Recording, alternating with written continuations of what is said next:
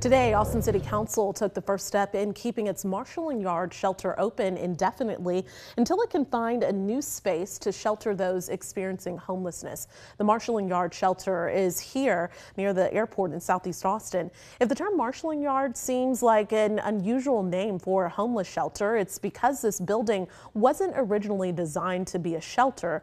It used to be a place to gather trucks and supplies offsite for convention center trade shows. In 2022. 3, the city converted part of the 70,000 square foot warehouse into a temporary shelter for homeless people. It can serve up to 300 people at a time. KXAN's Grace Reader breaks down what happens next.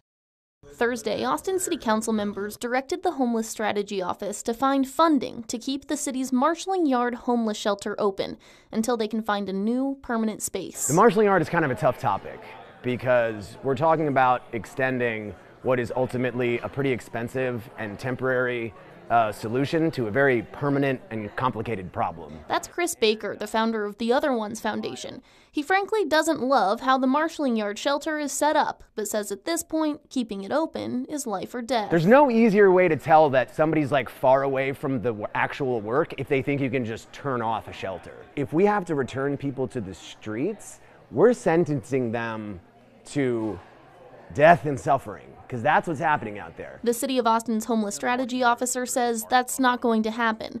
But ultimately, if the marshalling yard did close in March, which was the previously set date, it will mean fewer people get help. Without this resource, it limits our ability to pull people in off the street. It limits our ability to respond to those 311 calls and other calls for service and support.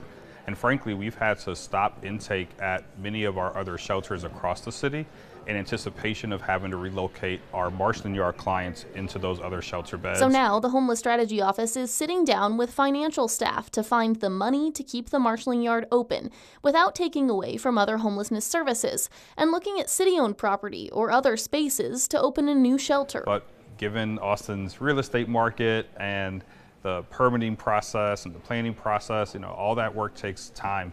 Uh, and so our timeline right now is still to be determined. Grace Reader, KXAN News.